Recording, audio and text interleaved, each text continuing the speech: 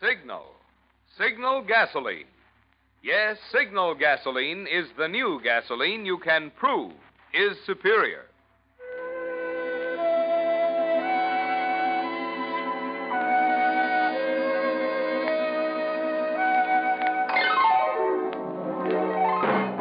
The Signal Oil Company and your neighborhood signal dealer bring you another curious story by The Whistler. Tonight, The House on Sycamore Road.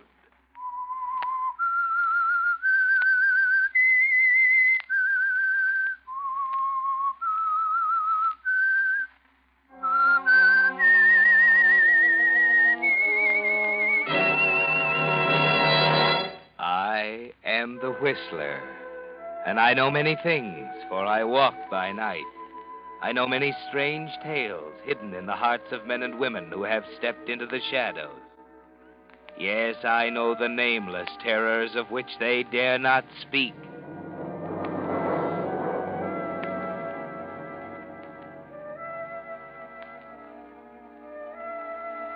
Sometimes weakness results only in failure and disillusionment. Sometimes it's much more serious than that. It can take a sinister turn, sending its victim down the spiral that ends only in death. That's the way it was with Harold Phillips on the day he and his wife, Muriel, rented the house on Sycamore Road from old Sabina Fielding. It wasn't much of a house, but it was destined to be the most important element in Harold's life. Like Sabina, it was old, but there was a kind of majesty about it, veiled as it was behind a mat of unkempt shrubbery and a pair of magnificent elms in the front yard. Muriel had objected to it, of course, but there was no other alternative. Rents were sky high, and the house on Sycamore Road was the only answer. As they stand talking with Sabina in the front hallway, Muriel is a little impatient. Well, that just about covers everything, Mrs. Fielding. Yes, I think we'll make out very comfortably here. It's hard to leave. Never thought I'd mind it this much. Of course. Uh, it's been in the Fielding family for now. Let me see. Well, uh, there was Rodney and Lisa. Uh, yes, uh, five generations. Five generations. Yes. I, I do hope you young people will be happy in it. A fine house in its time, you know. A proud house, just like the Fieldings. Yes, we're a proud family. None of us ever had money, excepting Richard, of course. Uh, that's my grandson. Richard had money, but it, it didn't do him any good. Well, even he's gone now. I'm the last now, the last Fielding. And I'm afraid I haven't much longer. Oh, I wouldn't say that, Mrs. Fielding. Oh, no, no, no. I'm an old woman, Mr. Phillips. Yes, it's hard to leave. Oh, that clock. I can remember when my daddy bought it. Let me see now. Was that 68 or 69? Uh, Mrs. Fielding, Harold will be glad to drive you into town. 68 or 69? Uh, eh? Oh, y- yes, yes. I, well, I'd better be going. I'll be glad to take you. Oh, well, uh, it's only two blocks to the bus stop. I can still walk that far without any trouble. I really think it'll be easier for you now, having just one room in town, you'll be closer to everything. Yes, yes, so I'm told. Are you sure now you don't want me to drive you? Oh, you're very kind, and I do like to see that in young people. But I can manage, thank you. Well, uh, goodbye, Mrs. Phillips. Goodbye. I I know you'll be happy here. I'm sure of it, Mrs. Fielding. Goodbye. Goodbye, young man. Young people, she says. We'll be very happy. Heaven's sakes, Muriel, she'll hear you. Oh, I could scream my head off in here and she wouldn't hear me. Come to think of it, screaming wouldn't be a bad idea. Will you quit it? That old crone is probably laughing herself silly right now after pawning off this old barn on us. But, Muriel, you know as well as I do it's the best we can do right now. Where have I heard that before? Well, I'm getting sick of it, Harold Phillips. I'm getting fed up with shabby substitutes. I've got a job. I don't know what else you want. Classified advertisements on a stupid hometown paper. What kind of a job is that? Well, it's the best I can do, and this house is the best I can do. You may as well make up your mind to I it. know, I know. I've been through all that before. But I'm not getting reconciled to it. You can make up your mind to that. Anything else? Yes, you. I can't say it's very inspiring, living in a moth-eaten shanty with an ink-stained nobody. Muriel. And this flock of antiques. That old clock she's so proud of. Listen to it. If you think I'm going to sit here day after day with that thing ticking in my ears, What's got into you anyway? I'm fed up, that's what. Now what are you doing? I'm going to stop this clock. Any objections? Will you be reasonable? Will you shut up? where's the catch on this thing? Oh, look out, you'll knock it over. All right, so I'll knock it over. Oh, now look what you've done. Harold, You hadn't lost your temper again. Harold, look. Why, in the world. Look at all that money. Just look at it. Stuffed away in back of the clock. Hundreds, thousands. Harold. Oh, Harold, darling.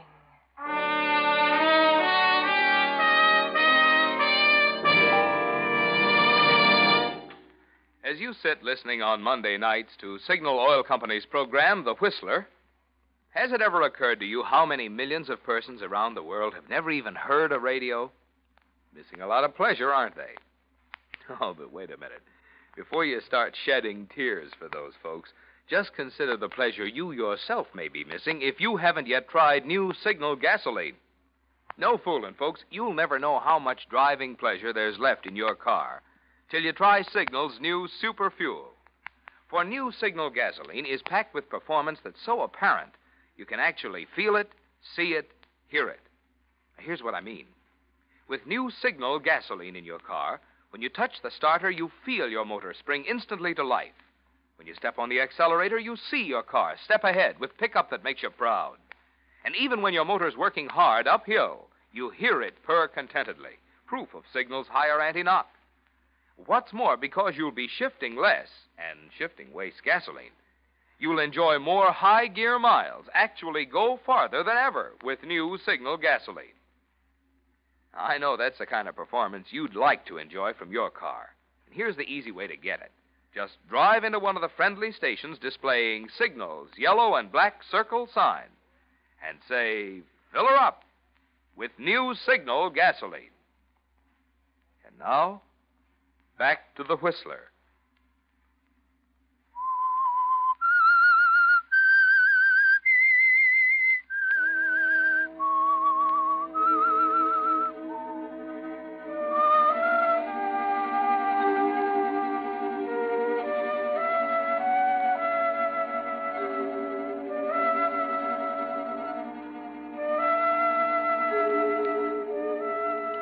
Almost like a dream, isn't it, Harold? You and Muriel kneeling on the floor of Sabina Fielding's old house, literally surrounded with the money that spilled from the old clock. Muriel's in seventh heaven as you counted. She even called you darling, didn't she? You work automatically, sorting the bills twenties, tens, fives into small, neat heaps on the scarred hardwood floor. How much is it? How much altogether? Wait, let, let me finish. I simply can't believe it. Eighty. It's like a dream. Ninety. Hundred. There, that's the last hundred. How much altogether? It hardly seems possible. How much, Harold? Tell me. Fifty thousand dollars. Oh. Fifty thousand in currency, small bills. It's probably been hidden away in this compartment behind the clock for years. Fifty thousand dollars. Never thought I'd see this much money all at once. The things we'll be able to do. All the marvelous things I've always dreamed of. All the clothes. Maybe go abroad. Who in the world? Harold, who can it be? I don't know. Oh, we can't let them in, all this money. We won't answer it. We won't let them in. Well, we'll have to. They can see the lights are on. But all this money. Well, stay here and hide it. I'll see who it is. All right, then. All right, but don't let them in. Nobody must see this money. Nobody must know we have it.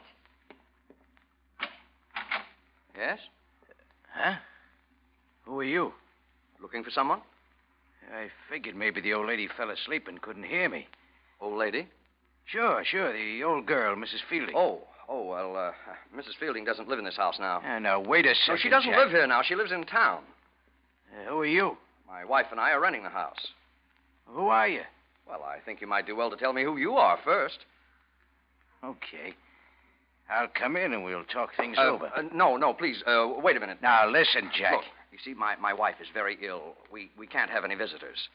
I don't want to talk to your wife. I can't talk to you now. I'm very busy. Good night. Okay, mister. But I'll be back. So long. Who was it, Harold? Harold? Who was it? What did he want? Wait, wait. Why are you snooping from behind those curtains? Well, I want to make sure. That... Yeah.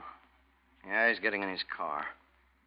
And there he goes. There, who goes? Who was it, Harold? Uh, uh, a man. Oh, uh, Did you set the clock up against the wall again? Yes, the glass was broken. I threw the pieces in the fireplace. Well, where's the money? I put it back in the clock. Who was it? Oh, I don't know. A fellow about my age had a red scar on his right cheek. He wanted to see Mrs. Fielding. He wouldn't give me his name. It's funny. Uh, he said he'd be back. What are we going to do about the money? We can't leave it there. Maybe we could. Harold, what's the matter? Hey, I think I know who he is. Muriel. What did Mrs. Fielding say about Richard Fielding? Something about money? He's dead. She said she was the last, don't you remember? I'm not so sure. That's the trouble. I'm not sure at all. Muriel, we may as well face it. It's not our money. It belongs to him. Don't be stupid. He's dead and she doesn't know anything about it.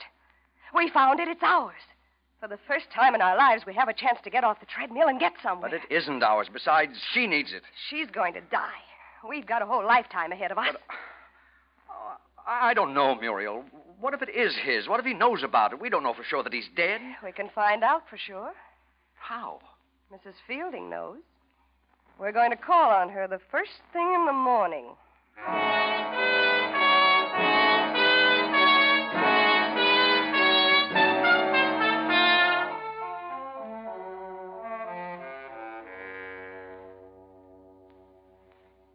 It's quite a problem, isn't it, Harold?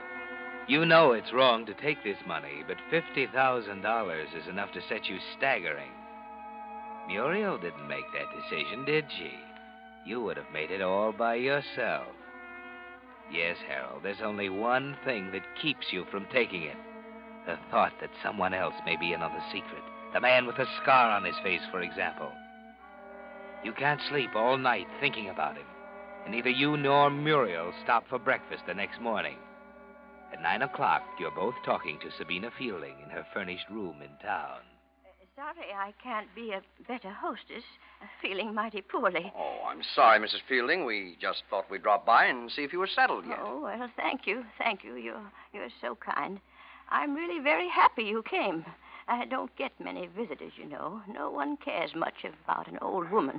Of course, we don't want to tire you. Oh, fiddlesticks. You're a little like part of the family now, living in my house. You do like my house, don't you? Oh, we're in love with it, Mrs. Fielding. It's a lovely old place. Oh, I'm so glad. You see, I didn't want it to go to anyone who wouldn't understand it. Houses are like people, you know. They have to be understood. Not everybody understands my house. It certainly has atmosphere. That, uh, that clock is a beautiful thing, isn't it? Oh, you like it? It's always been my favorite. I'm happy you like it. I guess you understand my clock, too. Richard always wanted it, but he didn't understand it, so I never gave it to him. Uh, Why did he want it, Mrs. Fielding? I never knew. Richard and I never got on together. Always said he had bad blood in him. Oh, he could have been such a nice boy. Handsome and strong. Until the accident, at least. Accident? Yes. He was never the same after the accident. He had it coming, though, Richard had. There was bad blood in him. I. Uh, I don't like to talk about my grandson. Uh, do you ever hear from him? I don't want to talk any more about him. No, no, not anymore. Ah, uh, would you have some tea? It's a little I early, wish but... you'd tell us about uh, Richard. Have you Uh, any uh, idea? Muriel, I'm afraid Mrs. Fielding's tired. We'd better be going. Oh, but- But I, I'm sorry to be this way. Uh, now, perhaps some other time, uh, when I'm feeling better. Yes, of course. Harold. Come along, Muriel.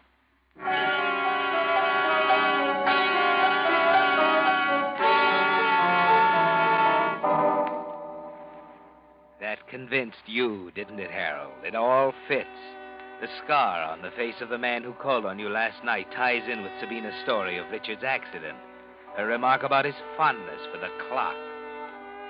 It was too easy, wasn't it? Fifty thousand dollars isn't hidden in a clock and then forgotten. It's Richard's money, and he's bound to come back for it. There was no reason for tiring Sabina any longer. Muriel would have worn her out with questions. After all, Muriel isn't the kind who gives up easily. After you've arrived back at the house, she keeps it up, never letting down for a minute. Harold, of all the asinine. There was nothing else to do. She would have told us if you hadn't. Sometimes I think you have the mentality of a child. What more do you want? She practically came right out and said it. He had money. He was in an accident. The scar, you remember? He always wanted the old clock. Could she make it any plainer? All right, all right. Joe, move. What are you going to do? We can't do anything. He knows the money's there. What do you mean we can't do anything? We can leave, can't we? When? Right now. Huh. That's a prize suggestion. Why, he could trace us in five minutes. We'd be in jail in a week. Listen, Harold. You've got a chance. For the first time in your shabby, ordinary little life, you've got a chance at something real. Are you going to throw it away? Well, I. I don't know. Sabina knows nothing about the money, Harold. There are only three people in on it you and I, and Richard Fielding. And he's coming back here. He said so. You'll probably never have another chance, Harold. What are you suggesting? Think it over, Harold. There isn't much more time.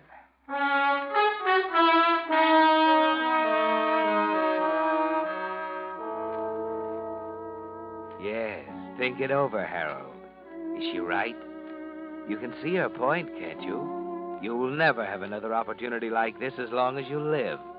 Just more of the same, day after day. Thousands more classified advertisements. Scrimping, pinching pennies, trying to make five dollars do the work of ten. And only Richard Fielding stands between you and everything you ever wished for. Only Richard Fielding. Oh, what's that? Someone's at the door. It's too late. He's come back. Well, what are you waiting for? Let him in. Huh? He- He's getting impatient, Harold. Let him in. But but he's come for the money. Why, Harold, what's the matter? You said it belonged to him. I don't, I don't know, Muriel. Nothing else we can do, is there? We can't take it. You said so. We'd be traced.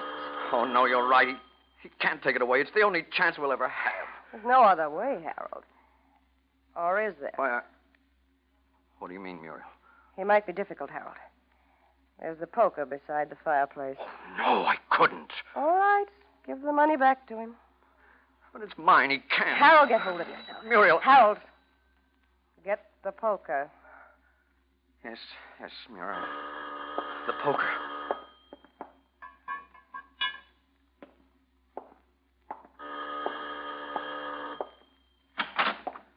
Yes? Hi, I'm. Uh, I'm back again. You remember me, don't you? I was here the other night. Sure, sure. I, I remember. Uh, what do you want? I'd like to come in for a minute. My car's stalled outside. All right. Come in. Yeah, I uh, got this far from town, then my jalopy stopped dead on me. I, I didn't even know it was your house till I found myself on the steps again. Well, uh, come in the living room. I, uh, I've been poking up the fire. Yeah, I noticed. Who is it, darling? Oh, Hello. good evening. What's the matter? What are you looking at? Didn't you ever see a scar on a man's face before, Mrs. Phillips? How do you know my name? I've been in town today asking a few questions. He's the one, Harold. It's he. Now, wait, Jack. Now, Harold. Wait. Oh. The poker, Harold. Pick it up. I, I think I'm going to be sick. Pick the poker up. Put it back where it belongs. I, I've killed him. I've killed a man. Harold, stop it. Get control of yourself. I'm going to be sick. Stop it. I don't feel any better than you do, but it's done now. We've got to go through with it. I've I've killed him. Maybe you haven't. You better see. Oh, no, I can't. You've got to, Harold. Think of all that money. He's out of the way now. We don't have to worry. See if he's dead. Well, Yes. Yes, he is. go through his pockets. Oh, I can't. You've got to. See if he had a gun, his identification. There's an automatic in his shoulder holster. You see, he would have killed us. A wallet. Fifteen dollars in it.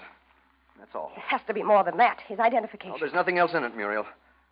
Handkerchief in his pocket. There's nothing in this. Nothing here. And that's all. Well, we've got to get rid of him now. Get rid of him. We can't leave him here. Take him out to his car. It- It's stalled. That was just an excuse to get in here.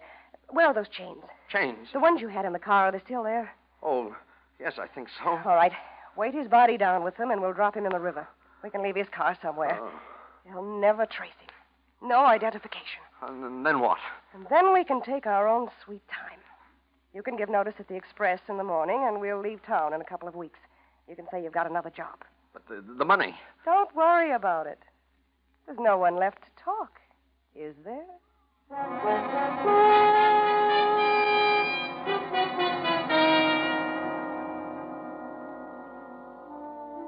You've killed a man, Harold.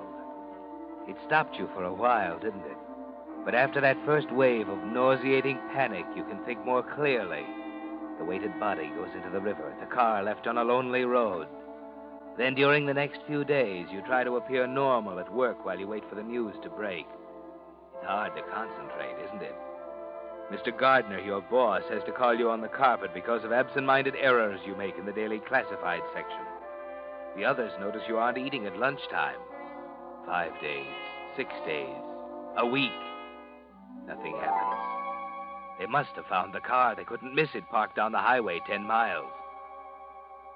Finally, you deliberately stroll into the city hall and look up Chief of Police Norton.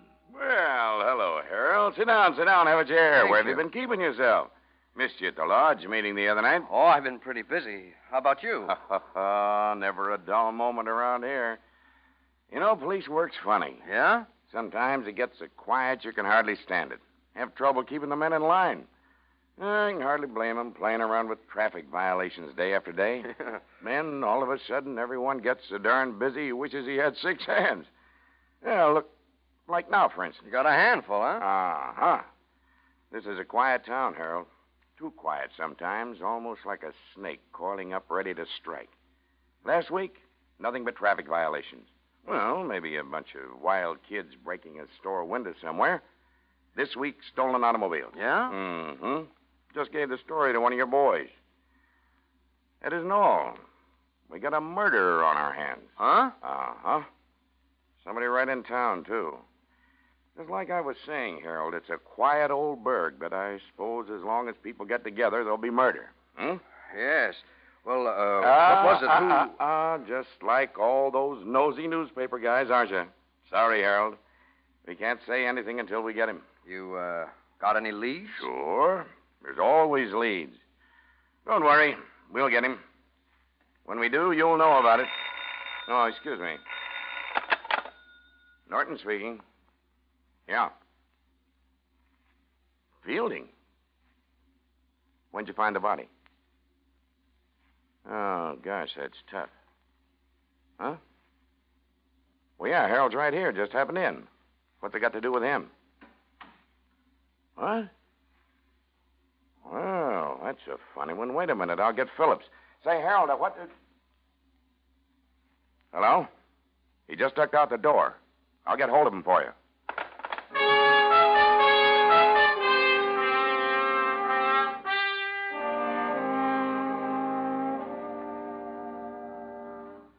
Muriel. Muriel. Harold, what on earth? What's wrong? Don't ask questions. We've got to get out of here. What's happened? Norton's found out about Fielding. They found the body. What? Hurry. We've got to get away from here before he comes out here. Too late to run. Get the money. It isn't any use, Harold. Why not? If they found the body, they're sure to catch you. You can't hope to get away by running. Me? What, what do you mean, me? I'm not running away, Harold. You're an accomplice. You think so? Well, you're just as guilty as I am. Why, if you hadn't been so. Oh, no, you don't. It's your word against mine. I had nothing to do with it. You had everything to do with it. I told you I was tired of being married to a failure. You failed again, Harold. You even failed at murder. You won't get away with it. What about the money? What money? In the clock, the clock! Ah, I didn't know there was any money in the clock. And I'm sure no one will find any there, even if you tell them to look in it. You've hidden it. You've hidden that money somewhere else. Have I, darling? You're going to take it all for yourself when you're rid of me. That's why you said there was no hurry. You planned it this way, didn't you? Well, you won't get away with it, Muriel. You won't. I don't know how you can stop me at this point, darling. You see? That's Chief Norton at the door now. I watched him drive up outside while we were talking. Better let him in. Oh, no. Not until I've taken care of you first. No. Hal, no. Oh, I didn't get rid of Fielding's gun, you see. Hal, no. Please.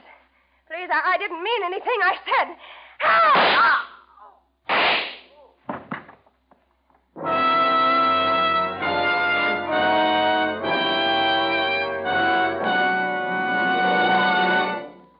Whistler will return in just a moment with the strange ending to tonight's story. Meantime, let's take a look at a few of the new post war products we've all been waiting for. According to news releases, the first of the new nylon hosiery will be of pre war quality. The first new automobiles will be 1942 models with improvements added. But when it comes to gasoline, new signal gasoline, ah, that's another story. For new signal is not just pre war quality gasoline, not just old style gasoline improved, but an entirely new type of motor fuel with performance features that until recently were reserved for war. You see, science has long known that gasoline is composed of molecules, and each molecule is an arrangement of atoms. The way those atoms are arranged determines how much power you get from the gasoline. Well, in old style gasolines, the molecules were left just as nature made them. But recently, certain chemists found out how to take gasoline molecules apart, then rearrange the atoms in an entirely new way. The result is new signal, an entirely new type super fuel with quicker starting, faster pickup, higher anti knock, and longer mileage. Because these are all features you can actually feel, see, and hear, we urge you to let just one tankful of new signal gasoline talk for itself. Let its performance in your own car show you why new signal actually is the new post war gasoline you can prove is superior. And now, back to the Whistler.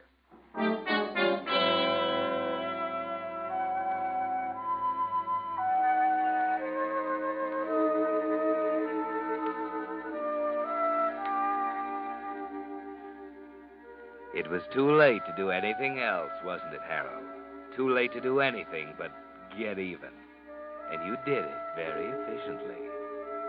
Muriel, your wife, she's dead now, lying at your feet as Chief Norton comes into the room. Harold, what got into you? You killed her deliberately. It doesn't matter. Good Lord, man, what are you talking about? You've committed a murder. Doesn't that mean anything to you? She was as guilty as I am. She was in on it, too, understand? She wanted the money, the 50000 She wouldn't give me any peace. When Fielding came back for his money. Fielding? What Fielding? Richard. It was his money in the clock.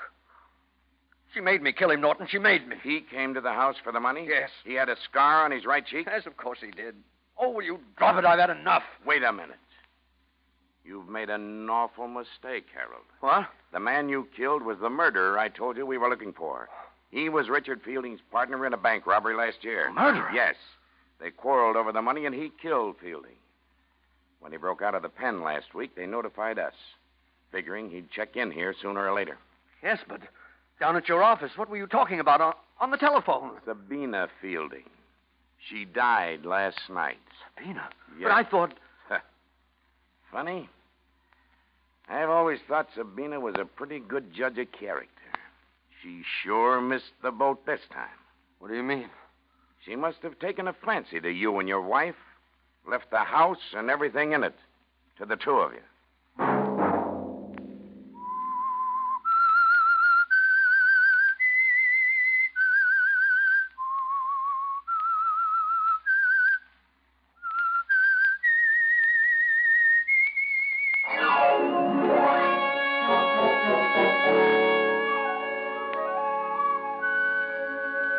Monday at 9 o'clock, The Whistler will bring you another strange tale.